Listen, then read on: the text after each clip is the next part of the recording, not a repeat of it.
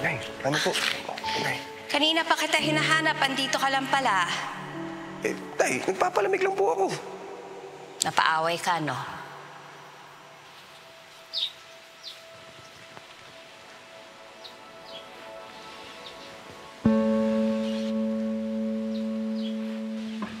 Sorry po, Nay. Anong dahilan? Pinagtanggol ko po yung binastos na babae dun sa may kanto.